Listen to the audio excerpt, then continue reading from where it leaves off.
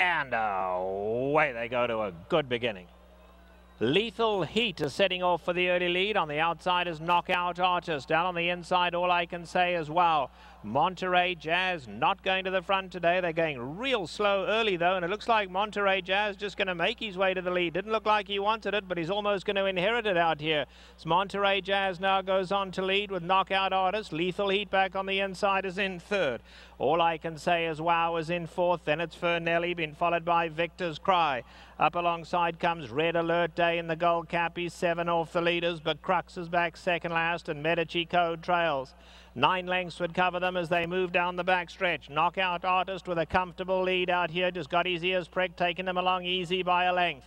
Monterey Jazz, nice and relaxed in the second spot. Lethal Heat is right there third.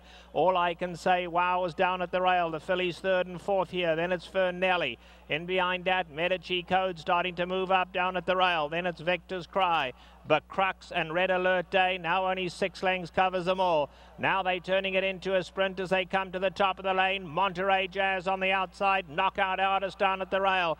And here's Lethal Heat again running her heart out. And Lethal Heat now coming looking for the lead. Does Monterey Jazz have anything left? Lethal Heat's gone right on by. Ferneley running a big one on the outside. All I can say is wow. They come for home now and it's Ferneley getting the advantage. All I can say is wow and Lethal Heat. But it's going to be Ferneley to come home and win the Del Mar Mile. Ferneley and Joel Rosario clear. All I can say is well second. Lethal Heat